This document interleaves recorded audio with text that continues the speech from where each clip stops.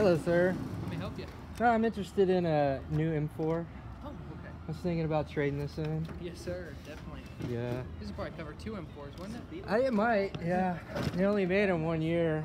It's a uh, Volkswagen. Oh. Yeah, it's, legendary. it's a Yama wagon. That's the model. So, yeah, they're pretty rare. It's probably worth uh, 100 or 150 grand. Somewhere around. Yeah, so that's, you know, might be trying to trade it in, get something new. New. Yeah, yeah. So I don't know. If you guys want to take it around the block, maybe uh, you know, appraise it or whatever, or is that even necessary? You just want to hand me the keys now? Yeah. Is that cool? Uh, I have to get a uh, salesperson for you. Oh, okay. You actually want to do that?